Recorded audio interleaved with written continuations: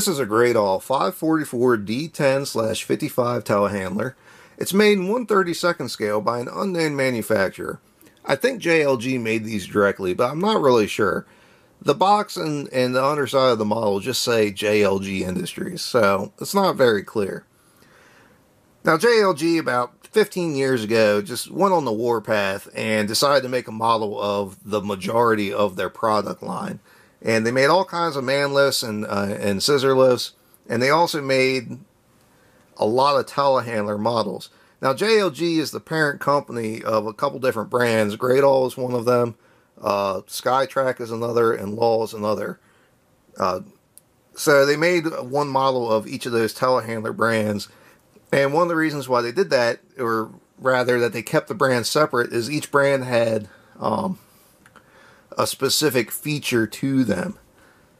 And the, the big feature on the Gradall was the steering system. It's different from any other telehandler, or at least most other telehandlers. If you look underneath, you can see it has a solid front axle, and the rear axle is where all the steering happens. So basically, what that means is this telehandler is going to drive just like a regular forklift in the warehouse. The back the back wheels will turn almost enough that they will be completely perpendicular to the machine. And what that allows you to do is it'll keep this wheel in the same spot and you can pivot the entire machine where that one wheel is and that wheel will never move, which makes it pretty interesting to run. Personally, I never cared for it the couple times that I have run a Gradall telehandler it's different and if you're used to that uh, that crab style of steering it takes a little bit of getting used to to get the telehandler to go where you want it to go. Some people like it but I was not really a fan. Now the model itself is pretty nice. JLG did a good job with these. The paint finish is very good. The decals are all very nice and clean and clear.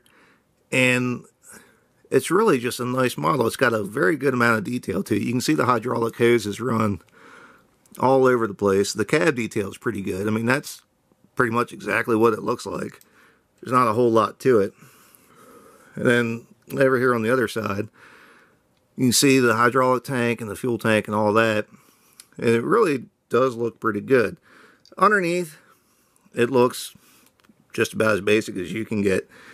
Now, the the model number is a 544 D1055.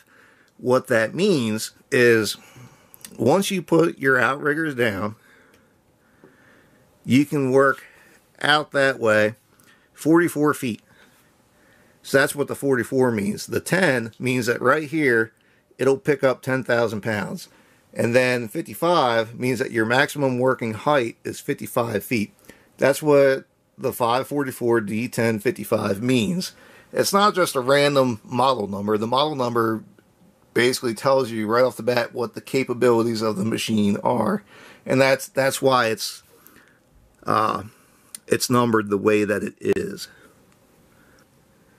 Now, as far as range of motion goes, it's really pretty good. The boom cylinders are stiff enough that it'll hold it in any position.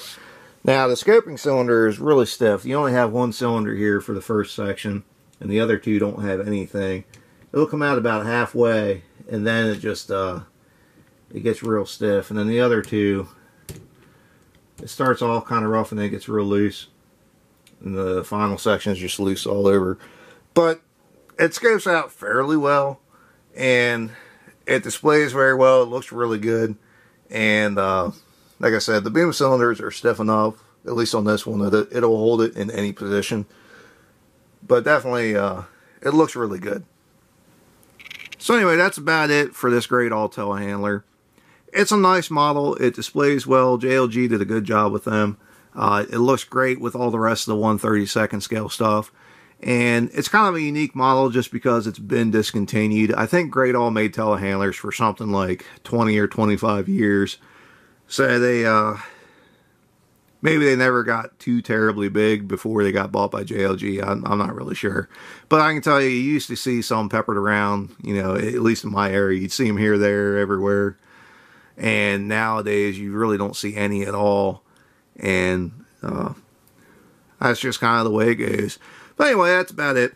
If you have any questions or comments, feel free to ask. If you have something you'd like to see, let me know. I might just have it.